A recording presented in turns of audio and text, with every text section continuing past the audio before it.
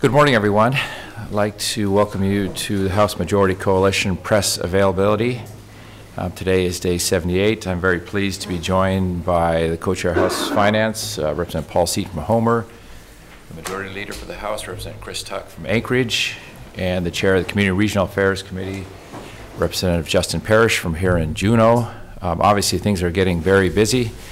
Um, on the heels of uh, certainly a major announcement by the Senate about uh, education cuts, as well as seeing that their operating budget is uh, moving now and scheduled for action, uh, possibly even today, on the Senate floor. So we have a lot of things going on, and I want to take this opportunity to uh, get some brief statements from uh, my fellow legislators, and then to take any of your questions. Mr. Majority Leader?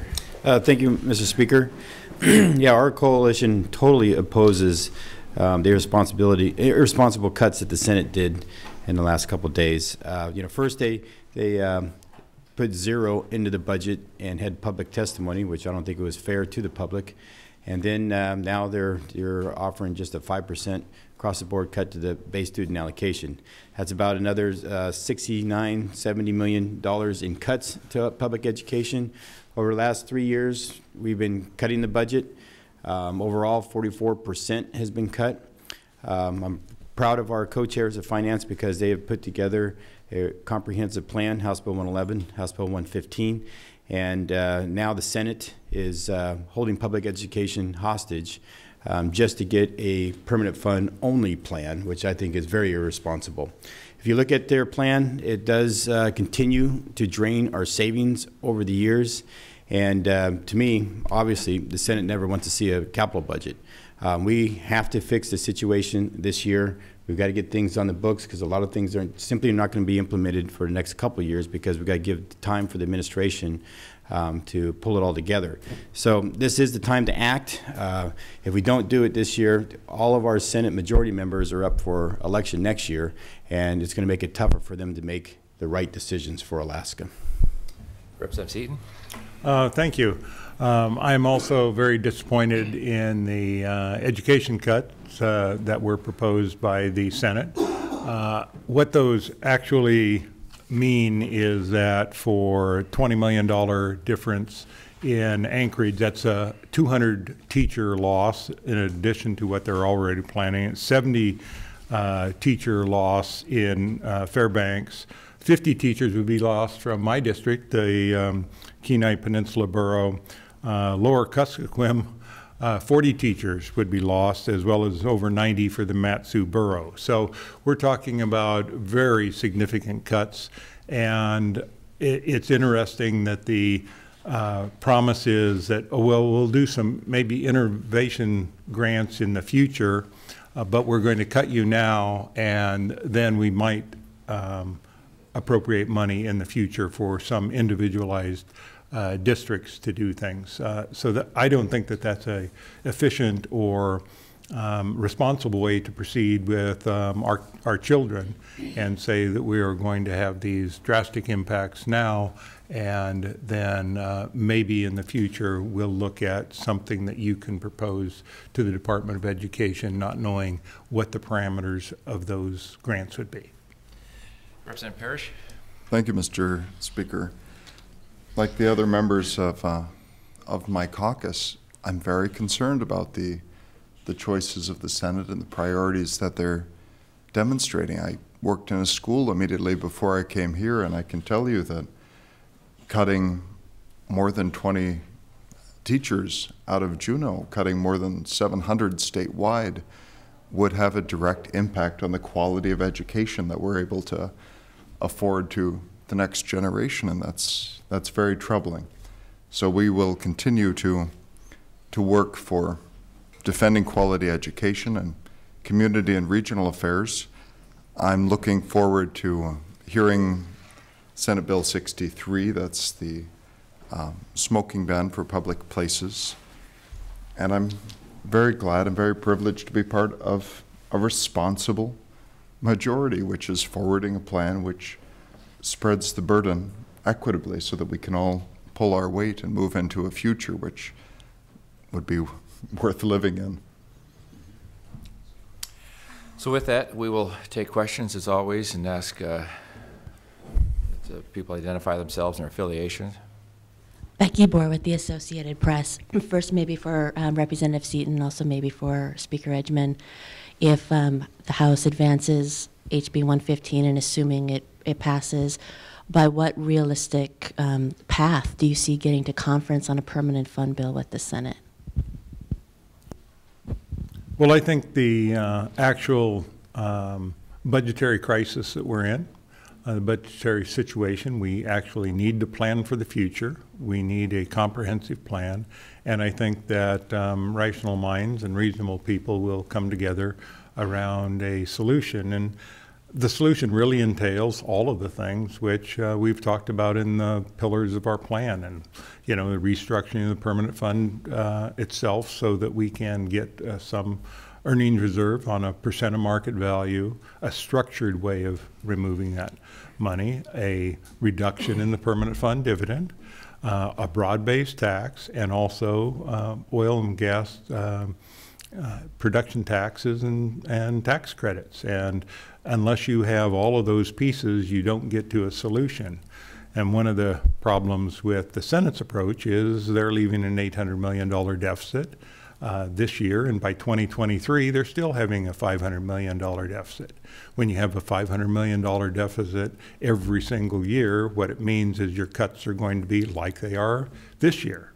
And um, what are you going to do? You're saying a, a 5% cut to education this year, and but you're saying in their budget that you're going to have to make the same kind of cut additionally next year, not just uh, a return, but if you're having another 5% cut uh, next year, that's, I just don't think that's a responsible way to take care of our constitutional obligation uh, to the citizens of the state to provide for an adequate education.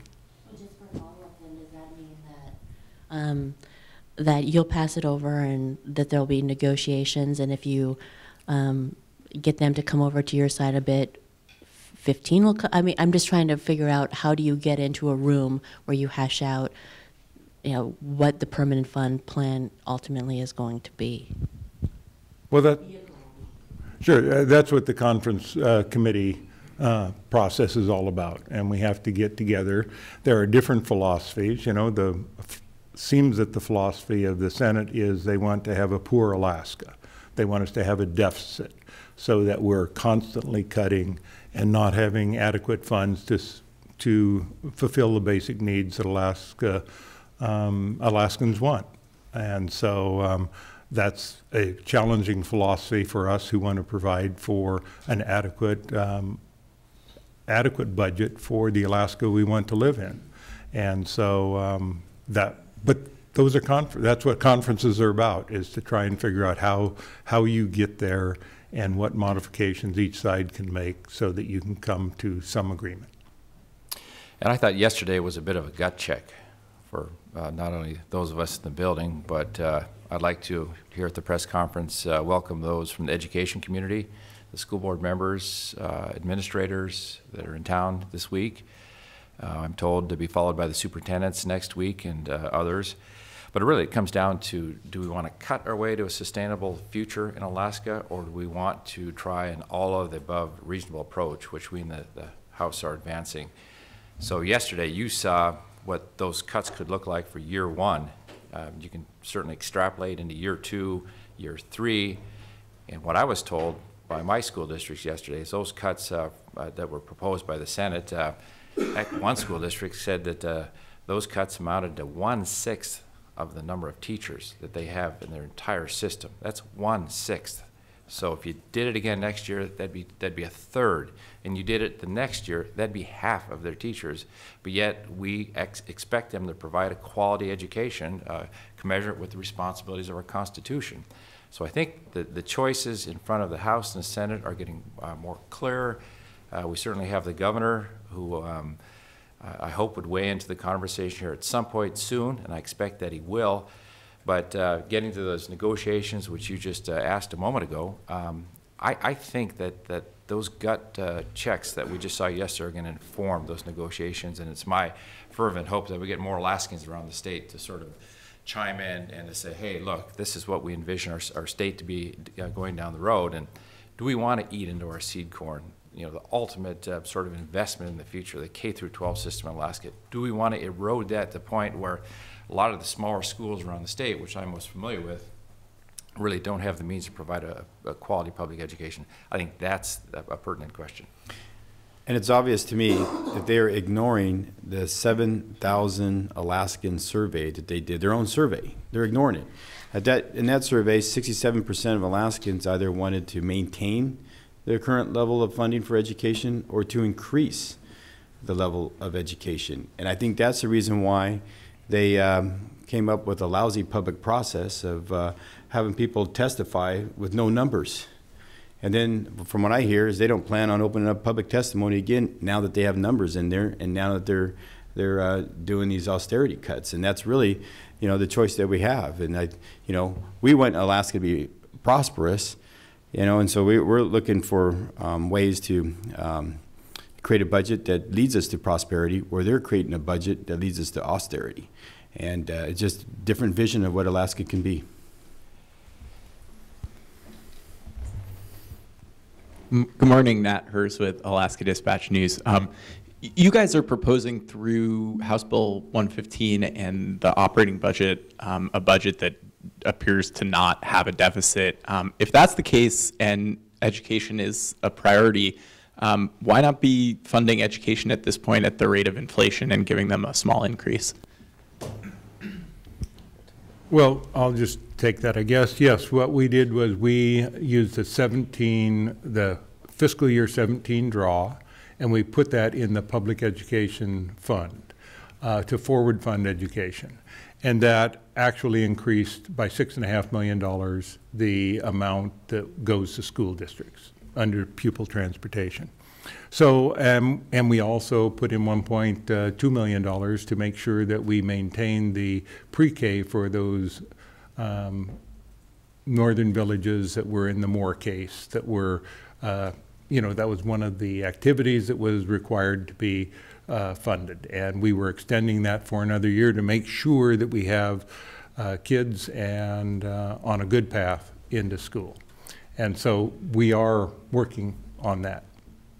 And we put another 1.2 million in pre-K, which uh, pays big dividends to your public education system. But there's been no, I don't think there's been any increase in the BSA in two years. Is that correct?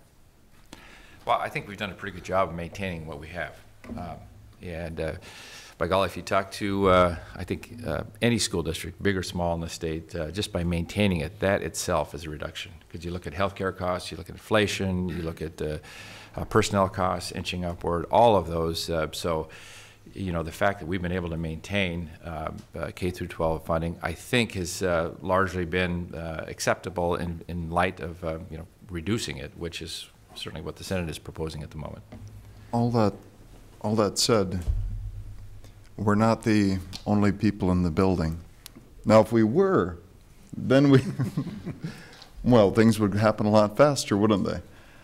However, we've got to be ready to compromise in order to get to a comprehensive fiscal plan. That means just holding at the flat level of funding. Again, I, I was in a school, so I, I do know that year on year, things get tighter. And I'd like to get back to a point where we're in a state